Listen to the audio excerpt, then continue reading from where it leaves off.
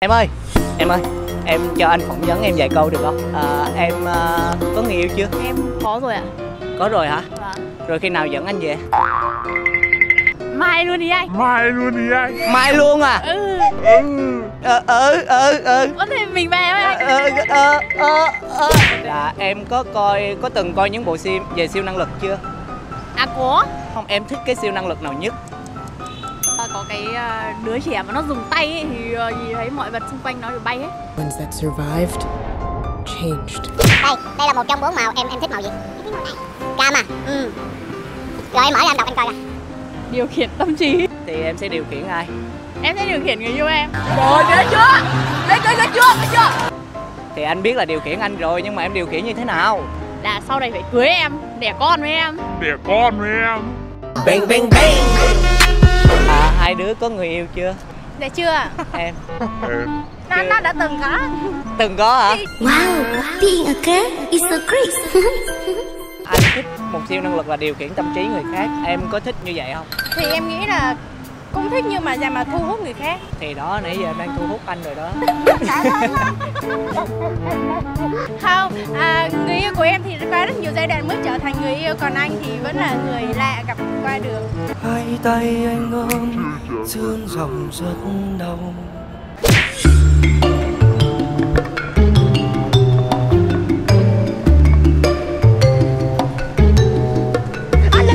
Em ơi, em ơi, em ơi, em ơi, em ơi Em ơi, em ơi Con định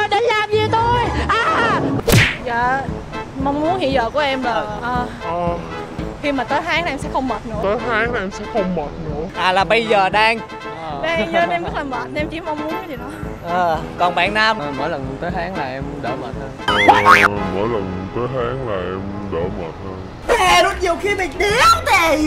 Bây giờ ví dụ như bây giờ mà cho tụi em có một siêu năng lực như là điều khiển tâm trí của người khác thì à, em sẽ làm gì với à, người yêu của mình? Dạ, em sẽ điều khiển bạn đó là có bao nhiêu tiền sẽ đưa em hết.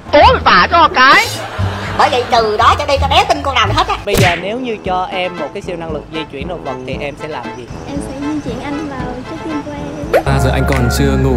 Tương tư về em biết bao nhiêu là cho đủ. Chẳng phải người âm phủ ngày ngủ đêm bay Nhưng mà giờ lúc nào anh cũng như là thằng trên mây. À, sắp tới có một bộ phim nói về siêu năng lực mang tên là Trí lực siêu phàm. Vậy em có muốn đi xem với anh không? Nếu mà anh mời thì em sẽ đi. Như ờ, thử ví dụ ờ, một vài bộ phim về siêu năng lực cho anh nhái được không? siêu nhân. Dạ em thích màu xanh. Màu xanh. Còn em? Rồi em lấy đi. Rồi mở ra đọc thử anh nghe coi. Di chuyển đồ vật, Di chuyển đồ vật. Điều khiển dòng điện. Em có siêu năng lực điều khiển dòng điện Thì em sẽ làm gì?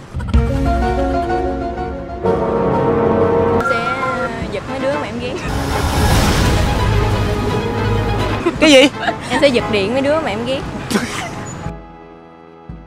À, hôm nay mình xem bộ phim Chiến lược siêu phàm thì cảm thấy là bộ phim rất là lôi cuốn, hấp dẫn và đặc biệt là có rất là nhiều cảnh lãng mạn. À, nó làm cho mình cảm giác là đây là một cái tiền đề để tạo ra X-Men. Em phim Rất là hay, hồi hộp từng giai đoạn luôn. Mặc dù hành động nhưng mà nó rất tình cảm và tâm lý. Phim cực kỳ đặc sắc, cực kỳ hay luôn Hay, lạ, rất là ấn tượng. Hồi hộp, hấp dẫn, kịch tính. Trẻ, lạ, đặc biệt. Ừ, Chắc chắn là bất ngờ nè, lãng mạn, độc đáo, xuất sắc. À, Mong là mọi người sẽ ủng hộ cho chiến lược siêu phàm và sẽ ra rạp coi phim từ ngày 3 tháng 8 nha